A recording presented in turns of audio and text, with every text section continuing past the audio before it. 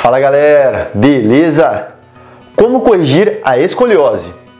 Quais exercícios são recomendados e quais exercícios devem ser evitados pelo indivíduo escoliótico? Vem comigo que eu vou contar tudo para você.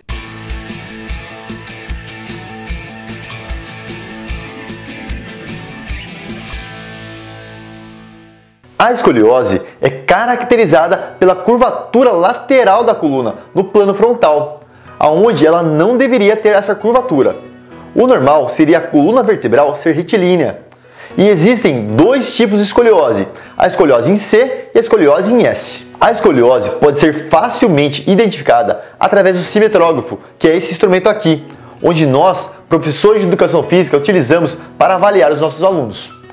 Pode ser identificada também por um simples teste, onde o indivíduo abaixa e toca com a mão na ponta dos pés ou também através do raio-x. A causa da escoliose pode ser por músculos enfraquecidos de um hemisfério corporal, mas a maioria dos casos tem causa idiopática, ou seja, não se sabe a verdadeira causa da escoliose.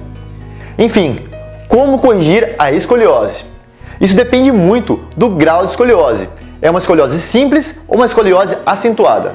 As curvaturas torácicas entre 45 e 50 graus são mais fáceis de serem corrigidas.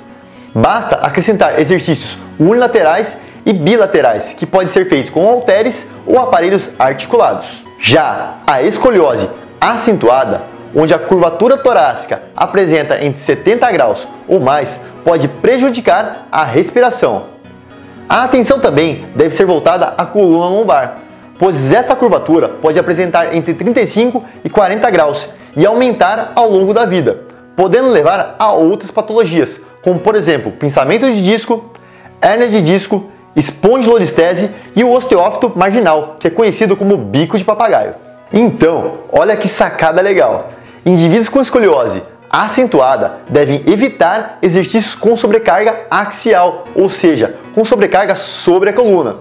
Exercícios esses, como por exemplo, agachamento com barra, afundo com barra, desenvolvimento, francês, esses exercícios devem ser substituídos por outros, como por exemplo, leg press, elevação lateral, pule tríceps, para que não ofereçam riscos ao indivíduo escoliótico. Outro ponto bem importante é que além de fortalecer ambos os lados para equilibrar a musculatura, deve-se fortalecer também o reto abdominal, os oblíquos e o quadrado lombar. Mas essa estratégia deve ser traçada pelo seu professor, de acordo com a sua necessidade e o grau de escoliose que você apresenta. Lembrando que a boa orientação faz a diferença. Valeu e bons treinos!